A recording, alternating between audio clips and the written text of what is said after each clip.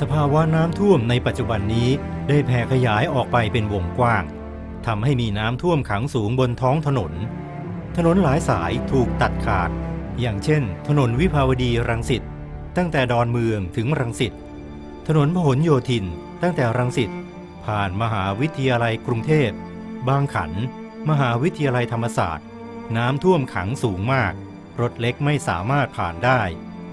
ดังนั้นถนนวงแหวนรอบนอกฝั่งตะวันออก หรือทางหลวงพิเศษหมายเลข 9 จึงเป็นถนนสายหลักที่ใช้ในการเดินทางมายังอำเภอคลองหลวง ตลาดไทย และวัดพระธรรมกาย เนื่องจากเป็นที่ทราบกันอยู่นะครับ เส้นทางจราจรรอบๆถนนคลองหลวงนะครับ ไม่ว่าจะเป็นถนนพหลโยธินนะครับ ตอนนี้ก็ท่วมแล้วนะครับ ตอนนี้ก็เหลือเส้นทางเดียวที่จะเข้ามาที่ถนนคลองหลวง คือเส้นทางวงแหวนรอบนอกนะครับนะครับ แต่เนื่องจากถนนวงแหวนรอบนอกเนี่ย เฉพาะ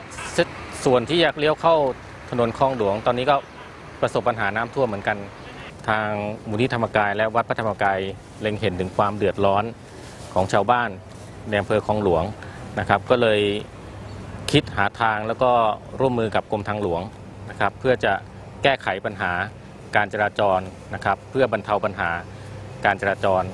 บางส่วนนะครับรถเล็กเนี่ยก็สามารถที่จะใช้ ถนนวงแหวนรอบนอกเนี่ยเชื่อมกับถนนคลองหลวงได้นะครับ โดยใช้สะพานอันนี้นะครับ ตอนนี้ชาวบ้านไม่ว่าจะเป็นตลาดไทยอำเภอคลองหลวงเนี่ยก็จะบรรเทาความเดือดร้อนลงในเรื่องของเส้นทางการจราจร เนื่องจากบริเวณทางแยกออกมายังอำเภอคลองหลวง จากถนนวงแหวนนั้น มีน้ำท่วมสูงมาก ทางมูลนิธิธรรมกาย และวัดพระธรรมกาย ร่วมกับกรมทางหลวง จึงได้คิดออกแบบวางแผน และลงมือทำสะพานเหล็กความยาว 35 เมตร และถมหินคลุกบนพื้นที่ที่เป็นถนนให้สูงเท่ากับสะพานอีก 30 เมตร รวมเส้นทางเลี่ยงไปอำเภอคลองหลวงนี้ ยาวกว่า 65 เมตร ซึ่งทีมงานก่อสร้างได้ลงมือทำกันทั้งวันทั้งคืน เพื่อหวังว่าจะช่วยบรรเทาความเดือดร้อนของพี่น้องประชาชนทุกคนให้เร็วที่สุด สะพานตัวนี้ครับขั้นตอนการทำของเราก็คือว่าเราจะแบ่งสะพานเป็น 2 ช่วงนะครับ ช่วงแรกก็เป็นช่วงที่ยาว 20 เมตรนะครับ ช่วงที่ 2 ยาวประมาณ 15 เมตรนะครับ ซึ่งสะพานนี้การก่อสร้างต้องใช้เสาเข็มคิงโพสขนาดใหญ่นะครับ ตอกลงไปนะครับ แล้วก็จะมีบีมมาวางพาด แล้วก็วางด้วยสตีลเด็กนะครับ เพื่อรองรับการสัญจรของของรถนะครับ ซึ่งการก่อสร้างทั้งหมดก็ใช้เวลาประมาณ 48 ชั่วโมง งานสะพานก็แล้วเสร็จนะครับ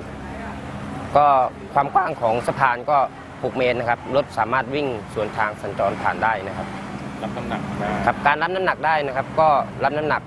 ได้ประมาณ 20 ตันนะครับ ซึ่งเราก็อนุญาตให้แค่ไม่เกิน6ล้อวิ่งได้ระยะเวลาการก่อสร้างสะพานนะครับ ทั้งหมด 48 ชั่วโมงของงานสะพานเหล็กนะครับตัวนี้เราได้รับความร่วมมือจากทีมงานก่อสร้างของวัดพระธรรมกายนะครับ ซึ่งทุกคนใช้เวลาทั้งวันทั้งคืนนะครับ ก็ภายใน 48 ชั่วโมงครับก็คือวันแรกเลิกตีสี่นะครับวันที่ 2 ก็ตีสี่ครึ่งนะครับทำให้สะพานเราแล้วเสร็จทั้งหมดนะครับ ส่วนเรื่องการรับน้ำหนักนะครับ ก็สามารถเทียบเท่ากับการสร้างก่อสร้างสะพานตามมาตรฐานทั่วไปนะครับ เพราะนี้เราได้คำนวณออกแบบเผื่อไว้ ก็เผื่อความปลอดภัยไว้ที่เซฟตี้ค่อนข้างสูงแล้วนะครับครับ เพราะนั้นก็คือผู้ใช้รถใช้ถนนทั่วไปก็ไม่ไม่ต้องเป็นห่วงเรื่องความปลอดภัยนะครับสะพานอันนี้นะครับก็เป็นความอนุเคราะห์นะครับของมูลที่ธรรมกายและวัดพระธรรมกายทั้งหมดนะครับ ไม่ว่าจะเป็นวัสดุนะครับ แรงงานนะครับทางด้านเทคนิคต่างๆ เครื่องมือหนักต่างๆเนี่ย ก็มาระดมนะครับ โดยได้ความเห็นชอบการอนุมัติจากทางกรมทางหลวงนะครับ แล้วก็ประสานงานกับทางราชการอยู่นะครับ ทางราชการก็ทางหน่วยงานก็เห็นชอบด้วยนะครับ เพื่อบรรเทาปัญหากับชาวบ้านในละแวกนี้ได้กว่า 48 ชั่วโมง ที่ทางวัดพระธรรมกาย และมูลนิธิธรรมกาย ได้เร่งทำสะพานทางเลี่ยงไปอำเภอคลองหลวงนี้ได้เป็นผลสำเร็จ ขณะนี้ได้เปิดใช้งานอย่างเป็นทางการแล้ว ซึ่งช่วยบรรเทาความเดือดร้อนให้กับพี่น้องประชาชนได้เป็นอย่างมากลำบากน้ำลึกมากเลยน้ำเข้ารถเลยเดินทางลำบากรถลำบากสุดๆนะครับ ก็ก็ขอบคุณวัดธรรมกายที่มาสร้างสะพานให้ข้ามเนี่ยมิดล้อเลยนะเมื่อเช้าอะจะมาทางนี้อะดีครับเมื่อเช้าผมก็มา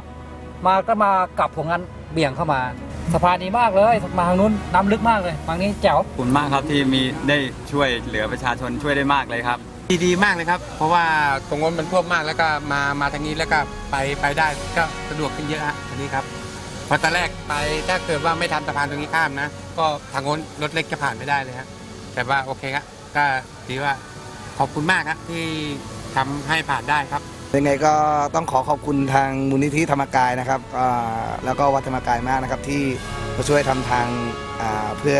ลดความเสี่ยง แล้วก็ลดความเดือดร้อนของประชาชน ในเขตอำเภอคลองหลวงหรือว่าในเขตอำเภอข้างเคียงขอบคุณมากนะครับ คุณวัดธรรมกายมากครับโอ้โหถ้าไม่มีไม่มีวัดธรรมกายก็แย่เหมือนกันนะครับครับขอบคุณครับ ถึงแม้ว่าวัดพระธรรมกาย และมูลนิธิธรรมกาย จะทำสะพานเลี่ยงมายังอำเภอคลองหลวงนี้สำเร็จแล้ว แต่ทางวัดพระธรรมกายและมูลนิธิธรรมกายก็ยังไม่หยุดที่จะช่วยเหลือพี่น้องประชาชนต่อไป